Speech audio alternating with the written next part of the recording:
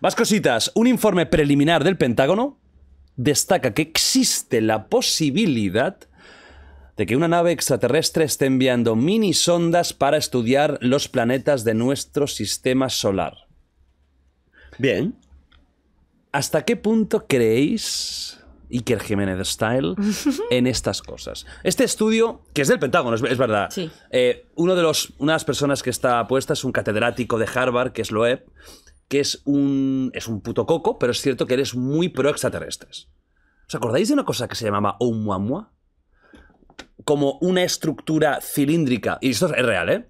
Que entró en el sistema solar eh, de una forma muy extraña, con un movimiento muy extraño, y llegaron a pensar que podía ser, incluso no se descartó, algo extraterrestre. También puede ser que sea una especie de roca, que normalmente son esféricas, pero esta era como un cigarro, como un Un puro. cigarro gigante. O como un cagarro. Era una de dos. No, de verdad. o, sea, o un truño o un puro. Y, y moviéndose de una forma muy extraña. Y él aseguró que era un. parte de algo O extraterrestre. sea, entró. Sí, claro. que, em, los cuerpos en el, en el espacio eh, orbitan. Entonces no entran rectos, lo que hacen es orbitar, y se vuelve a ir. Y se, se fue. O sea, ya no está aquí. Vale, vale, vale, vale. Y- vale. Y, y no se pudo estudiar. Pero sí que se vio. O sea, se- lo- la- vieron una forma así. O sea, esto, esto es real, ¿eh? Entonces, este, tío- este tío está metido en este estudio. Es un catedrático, es una persona que tiene estudios, pero es muy controvertido. ¿Qué creéis de estos extraterrestres? ¿Creéis en ello más? ¿Y tú crees, tú- o sea, ¿tú crees primero que haya vida en el, en el, en el universo? Por supuestísimo que sí. Que sí. Por. En algún sitio. En algún sitio. Vale. ¿Crees que han entrado alguna vez en contacto con el planeta Tierra? ¿Antes de nosotros o durante nosotros? Eso ya no tengo ni puñetera idea. Mm, Evidentemente no tengo ni puñetera idea de nada, pero mm, ¿por qué no? O sea, yo lo que sí sé es que lo que sí que creo es que si el universo es infinito, ¿por qué cojones vamos a ser los únicos? ¿Haz cuánto cuenta? Bueno, me aducieron. A mí se imagina. Yo estuve en Marte una temporada. Todo bastante guay. No, pero ¿por qué cojones vamos a ser los únicos que, que, mm, eh, tenemos vida? Yo y voy que más allá, tío, a veces y pienso, ¿y por qué coño los extraterrestres se tienen que manifestar en naves? ¿Qué sabes tú si no se pueden teletransportar y ya hay aquí en la... Es que yo me imagino ya paranoia. ¿Te mola este tema?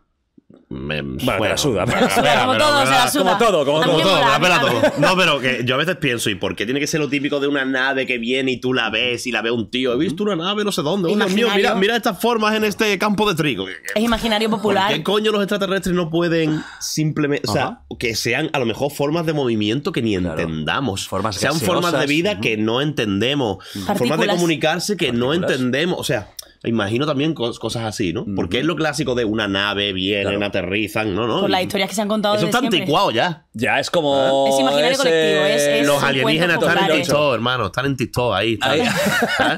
Esa aplicación es alienígena, Hombre, yo, 100%. yo cuando veo a según qué gente bailando, digo, Parece esto no un puede ser humano, tío. Puede ser. o sea, Yo creo que viene de ahí. No, pero yo, eh, creer, creo, yo tengo, uso más o menos la, pues, la misma lógica, ¿no? Basada en la probabilidad que tiene más de si el universo es infinito, por probabilidad. cuando veis cosas como pirámides, eh, cuando veis este tipo de estructuras gigantes, antiguas, ahí os, entra, A os ver, entra la duda, es como a muchos, o no. El esclavismo pegó fuerte, la verdad. No sé yo si es alienígena Claro. o es que había muchos "Buah, Es esclavos. imposible, ¿cómo lo pudieron hacer eh, miles de años y muchos esclavos? Totalmente, No, me- claro. a mí eso no- yo ahí no, no relacionaría esas cosas nunca con extraterrestres. Para nada, ¿no? No, la verdad. No, no, yo creo Porque que se han es hecho locuras, duro. locuras aquí y, y no lo han Pues hecho sabes, sabes que hubo hace unos meses un informe de que se encontró eh, como vamos a decir contratos laborales de trabajadores de las pirámides Ah, ¿sí? y no era tan esclavismo, sino que había contratados.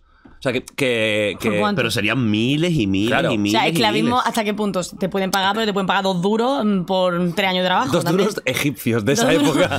dos duros de esa época, claro. de esa claro. época. Justo. Dos papiros. Puede ser.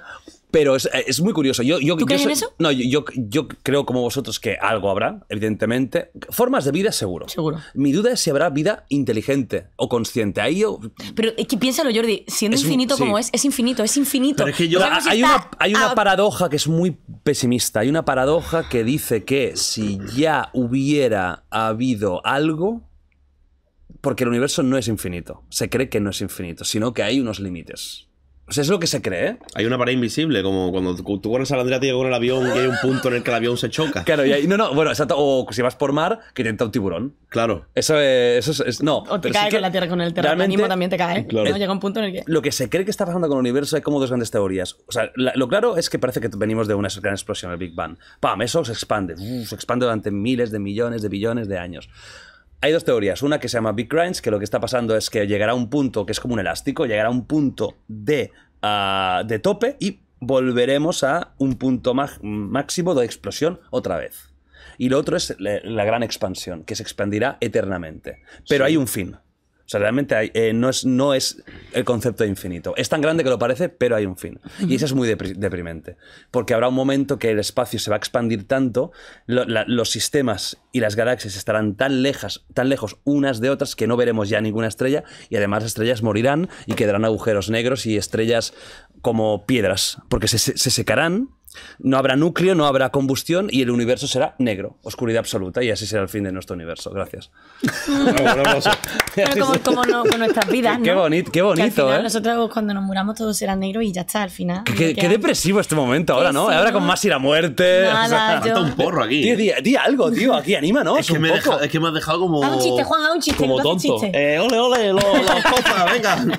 Eh, tío, yo, y yo también pienso, porque tú dices, habrá vida, pero habrá vida inteligente. Pero es que yo me lo cuestiono todo a un nivel, tío, ¿y qué es la inteligencia? Me refiero, a lo mejor ese concepto no existe en vida alienígena, el, el concepto inteligente. Es que a lo mejor no existen los conceptos. Es que a lo mejor es algo que ni tu cabeza puede asimilar. Es que no sabes lo que es y no sabrás explicarlo jamás por cómo estamos hechos los seres humanos y por los. y, y por los. Pues, pues, pues, por toda la serie de, de- de- de cosas que sabemos y cosas que podemos entender. A lo mejor es algo que ni la- siquiera puedes ver con lo. con- ni siquiera es algo de vista. A lo mejor es todo sensorial. Es que. ¿Y sabéis la teoría? Uf, Esto ya es rayada. Esto sí que es de tres porros del cerebro de Boltzmann. Esto lo hablamos con Santa Blaya y es. Estamos que- quedando como unos catetos, Marisabel. No, no, Que que- habla de cosas muy raras, cojones. Claro, claro, claro. Eso es peor que los videojuegos. Pero dice fecha de cosas y lo dice todo bien y tú y yo en plan. Y nosotros, ¿sabes lo no, es esto? No, yo he ¿sabes lo venido aquí? No. yo he venido a aprender de Jordi, ya Ahí está. No, pero es, es una teoría muy chunga, pero que tiene visos de que podría ser. O sea, no es una locura esto, ¿eh? esto es por, por un científico y todo está bien estudiado, de que nuestra existencia, todo, sería una simulación, eh, pues, eh, programada en, en otro sitio. Eso de ah, Truman. pero eso es de lo de la. eh, que surgió también con lo de las inteligencias artificiales. O sea, decían, había una Eso es- teoría. es eso, o sea, tiene años, ¿eh? No, no, no viene Pues ahora. hay una pero- teoría ahora que dice que si somos capaces de crear una inteligencia artificial que tenga conciencia propia. ¿por qué no vamos a ser nosotros una inteligencia artificial con conciencia propia, Mm. creada por Sí, una simulación. Realmente lo de Sí, Matrix, pero eso sí, pero eso- sin eso sí una que es verdad que es muy porro. Es muy. Sí. Muy ¿Os porro, suena a muy porro. porro? No sé. Es bastante porro eso. Pero sí, sí, puede ser. Es que nunca se sabe tampoco. Yo, no- yo parto de la base de que no tengo ni puta idea de nada porque no Es que soy eso nadie. No se, puede, no se puede de alguna forma demostrar. Pero es, es, eh, tal como lo explicaba Santa ¿Sabes lo que sí se puede demostrar en este mundo, en esta vida? Que ya podéis precomprar el libro de los cuentos de Papá Giorgio en Amazon. Claro que sí, papá Giorgio. Jovenetico. Luego me hace el. PayPal, Jordi. No, Luego me hace el Bizum. Luego te paso. Le digo a mi padre, papá, paga, paga Juan. Pásale el Bizum. Pásale el Bizum. Usted no, no sabe ni lo que es el Bizum, creo. ¿Tu padre, no? no? No, no, yo creo que no, ¿eh? Mira que mi padre es moderno, porque oye, su- usa su Twitter. Yo creo que Pero el sí. Bizum, no, porque no, ¿No? no creo que. Claro, yo me imagino. Tampoco lo tienen todos los bancos. Claro, ¿no? a su colega de 69 años, eh, pásame el Bizum para el carajillo. No lo veo así. No, no creo que sea conversación No, típica. Lo das en mano. No. Efectivo todavía, ¿no? Claro, sí, old, old school. Old school, claro que sí. Old school. Bueno, a ver, ¿qué más? ¿Está pasándolo bien con esta tertulia, con Muy esos bien. temas? Sí, Muy sí, claro que sí. entretenido, Sí, sí. Sí, Estoy aprendiendo un montón. estamos aprendiendo. Sobre videojuegos, sobre. Sobre cerebros de. Boltzmann y, y todas esto. Sí, sí.